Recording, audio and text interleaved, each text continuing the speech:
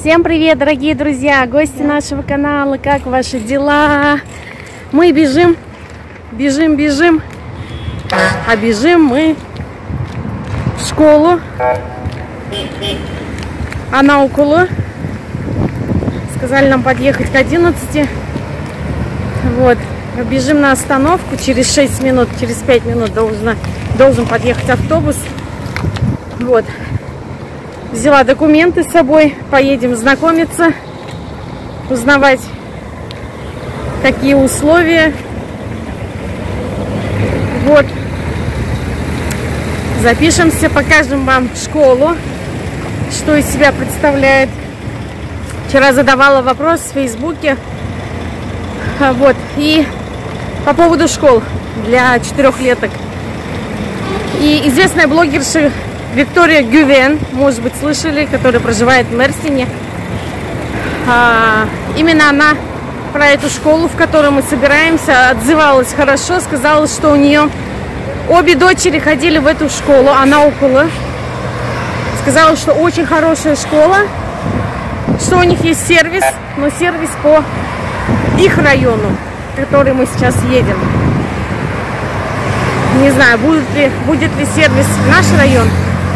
Ну, ничего, придется отвозить и забирать османчика. Ничего не поделаешь, я пока не работаю, поэтому будем ездить по утрам и в обед забирать. Ну, буквально получается на 4, на 4 часа, по-моему, там пребывание. Поехали. Доехали мы за 6 минут. Заплатили мы 15 рублей. Вот, обратно 15 рублей. 30. Ну, 60 рублей будет уходить в день, чтобы отвезти Османа и приехать обратно домой и затем забрать. Это получается где-то 1 доллар в день будет уходить у нас на поездки. Да, Османчик, до садика и обратно. Ну, еще нужно будет оплачивать констовары.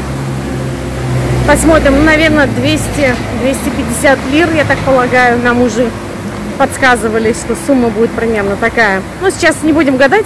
Дойдем и все расспросим. Вот здесь банкоматы. Все какие нужны. Мы сейчас э, на, находимся уже недалеко от лицея. И за лицеем находится школа для младших учеников. Сейчас стояли на остановке, такая неприятная картину. Картину наблюдали. Женщина выезжает на Mitsubishi Падже... Нет, не Паджеро.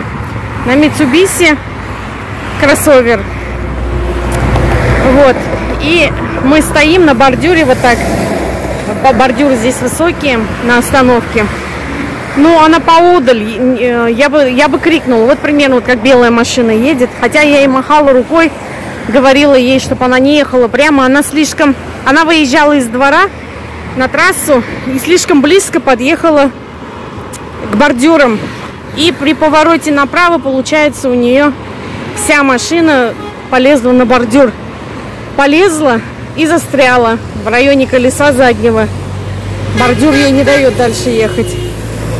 Я ей, значит, показываю руками, говорю, назад, назад, чтобы она дальше еще больше колесом не заехала и не спустила зад на этот э, бордюр еще, да, чтобы задом не села.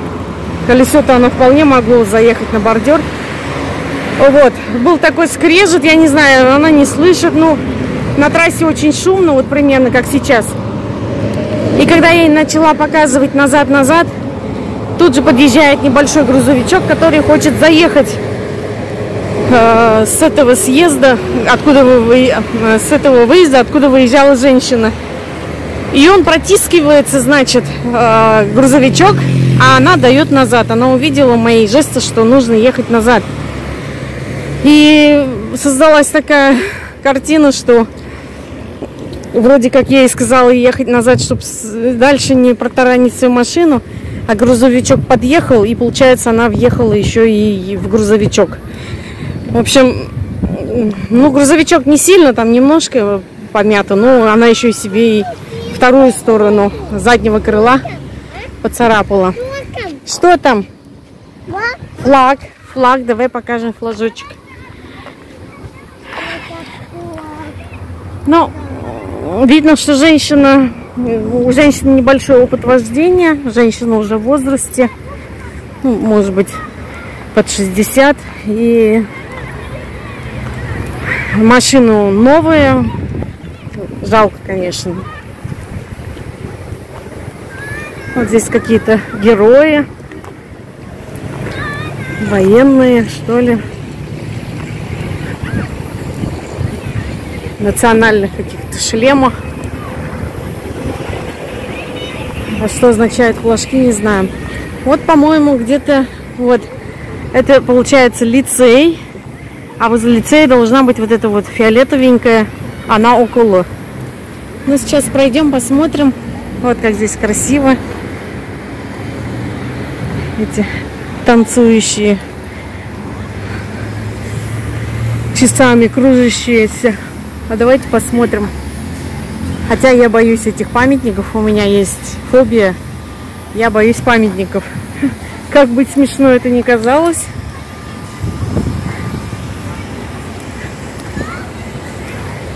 Так, сейчас будем искать вход в эту школу. Вот за сколько минут мы дошли. Сейчас скажу. На автобус мы вышли 58 минут сели. Сейчас 12 минут. Время. 14 минут. Плюс 2 минуты на выход из дома. За 15 минут можно добираться нам до этой школы в общей сложности. Давайте посмотрим, откуда же вход, наверное. наверное, вот отсюда. Это я так предполагаю. Сейчас посмотрим. Дворик.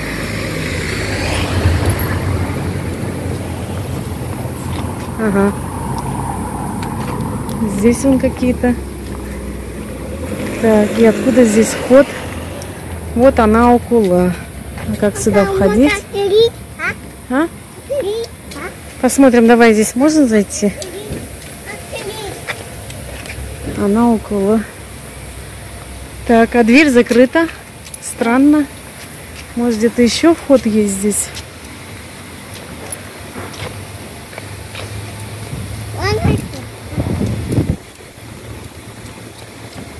Закрыто. Я не вижу больше входа. Может быть, с обратной стороны. Пойдем с другой стороны попробуем зайти. Нам ведь сказали часов в 11. Время 12 час только-только пошел. Вот она, эта школа. Вот такая была у них небольшая лужайка. Школа. Давай, бисмилля, заходи. Посмотрим, что здесь. А? Вот здесь, смотри. Это садик. Здесь они раздеваются разные группы. Здесь вход.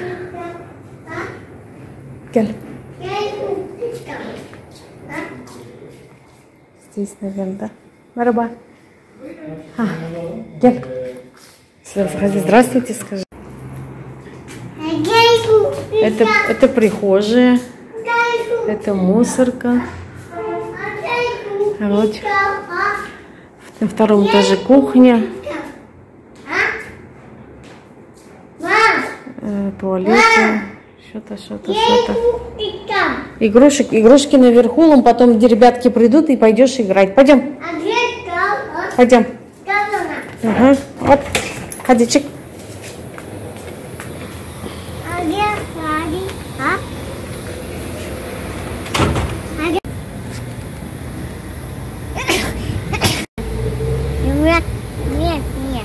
Привет, привет, еще раз. В общем, мы записались, друзья, в школу э, с сентября месяца, набирают группу, но группу четырехлетки создают после обеда. Есть две группы до обеда с пяти лет. Но нас туда не взяли, потому что... Я, нет. Ты? Хочет Осман сам нажать. Оп, молодец. Выходим. А, Пятилетние дети, они очень э, резвые, э, немножко, немножко, говорит, грубоватые, могут обижать, конечно. Ну, в каком плане, что игры у них другие, они более подвижные, толкаются, и Осман, он сам по себе, сам по себе очень мелкий, маленький, не крупный. Пойдем на автобус. А, В общем, могут недопонять друг друга из-за возрастных, э, из-за возрастной разницы.